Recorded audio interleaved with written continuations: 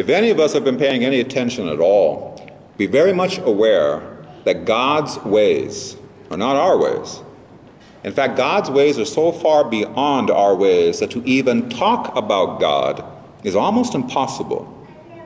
Pope St. Gregory the Great, he said, almost anything said of God is unworthy for the reason it is said. And St. Gregory Nazianzen, he once said, to speak about God is like trying to cross the ocean in a little raft or fly to the moon on little bird wings. But Jesus tells us in our gospel today Go therefore and make disciples of all nations and baptize them in the name of the Father and of the Son and of the Holy Spirit. Jesus is telling all of us to participate in the very nature and mission of God. So, how do we pull that off? Well, as you all know, because you've heard this many times before, God is love. But what does that really mean when we get right down to it? Since love isn't fully love until you give it away, so you have to have the reception of love, but then you have to be the giving away of it. The Father, He takes everything He is, everything He has, His whole being, His very nature, and gives it to the Son in an act of perfect love. That's why one of the reasons why we say in the Creed on Sunday Mass that Jesus is consubstantial with the Father. Jesus is the very same substance of the Father. The Son then in return takes everything He is, everything He has, His whole being, His very nature, and gives it back to the Father, another act of perfect love. And from that relationship, love given, love received, love given back, proceeds the Holy Spirit who also is love. So all three persons are bound together in this love. This is what we as Catholics call God. And this is what we're celebrating today on this feast of the most blessed Trinity. Here's the great news though God wants you to share in that divine love, the whole wonderful love of the Trinity. And not just until Mass is over with, but for all eternity, guys, all eternity. That's why the second person of the Blessed Trinity became human, suffered, died, and ascended back into heaven. That's also why God sends the Holy Spirit to us in the sacraments. So when we're baptized into the life of God, the life of the Father, Son, and Holy Spirit, we receive a spirit of adoption that makes all of us children of God and allows us to call God Abba, which, as you all know, means daddy. Let that sink in.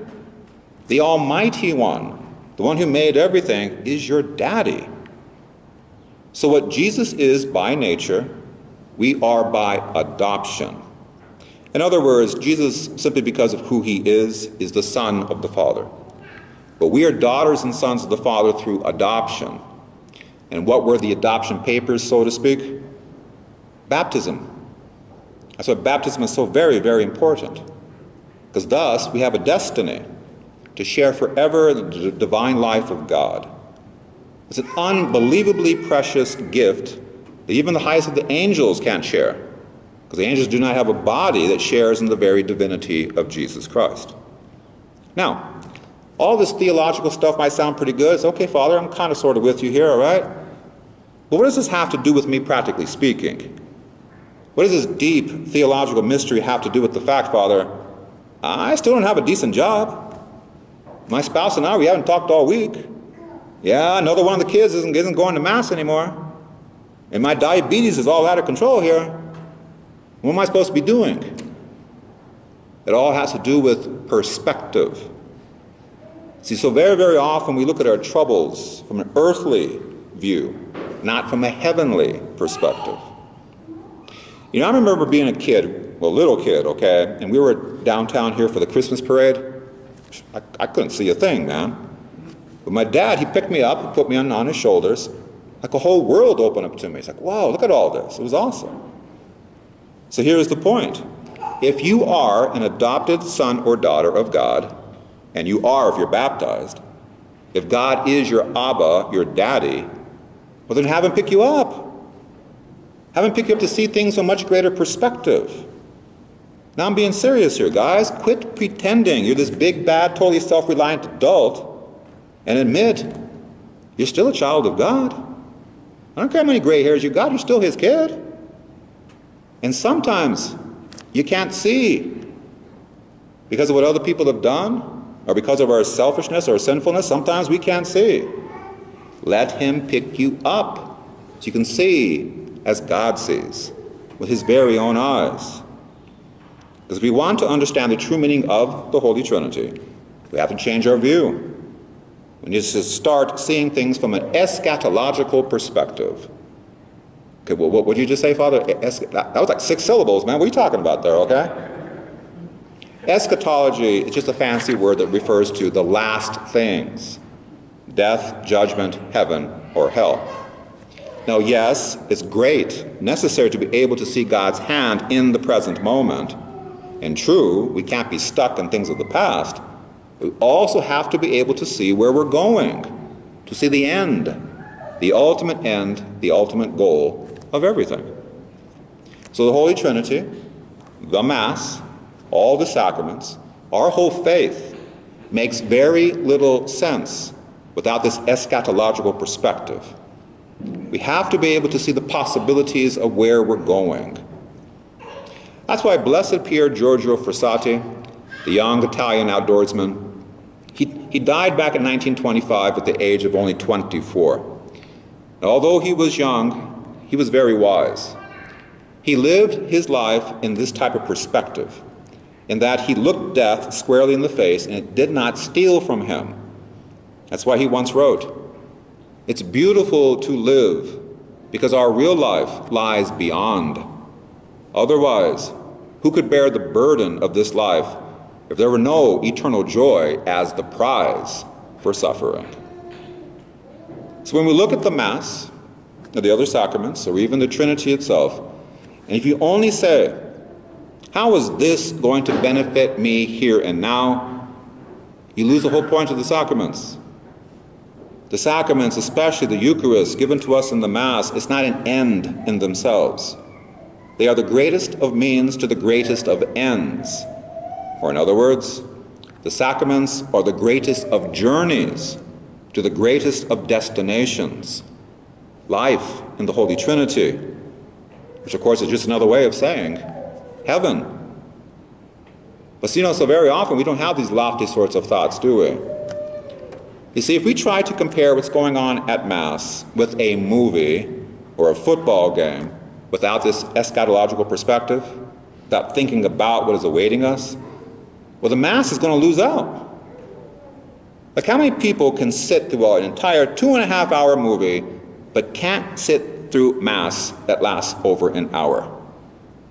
It's like so many people have this built in computer chip, okay? And as soon as Mass hits 61 minutes, oh no, something's wrong, something's wrong here, okay? How come if a football game goes into overtime, overtime, Everybody's glued to their seats, don't want to miss a single moment. Yet when the homily exceeds 15 minutes, I get all this coughing and pointing at the watches. Ahem, ahem. When we understand that the holy sacrifice of the Mass is the means to our ultimate purpose of eternal life at the Most Holy Trinity, it's anything but boring. When we realize that because of our baptism into the Father, the Son, and the Holy Spirit, we can participate here and now in the life of the Trinity by partaking of the body, blood, soul, and divinity of Jesus Christ. Mass is anything but boring.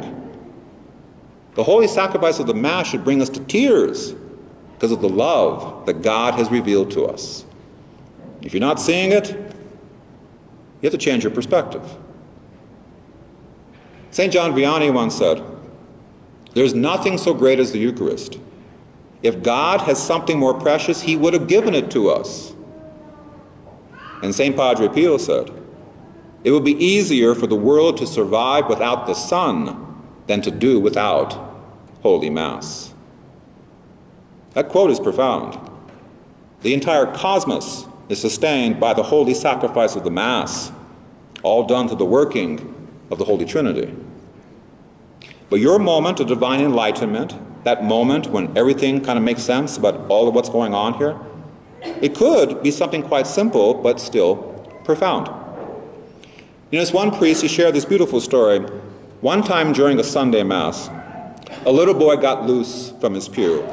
It's like, oh, we, we got a runner. We got a runner here, okay? And he began running down the aisle straight toward the sanctuary where the priest was seated. And the little boy, as he was running toward the priest, kept yelling out, Daddy, Daddy, Daddy. And when the priest saw the little boy running towards him, and especially when he heard what he was saying, the boy was seeing something else, wasn't he? And the priest realized that. It changed his whole viewpoint of his priesthood and also of the Mass. That little kid saw what we're supposed to see. So once we realize that though we're here in this life, and this life can be very blessed, we're actually made for heaven. Once we develop this eschatological perspective, once we realize our true home is in heaven, our true destiny is to share in the life of the Trinity, well, then maybe we too will one day come running into Mass, looking for our heavenly daddy, asking him to pick us up and give us a sense of the great and blessed life that is to come.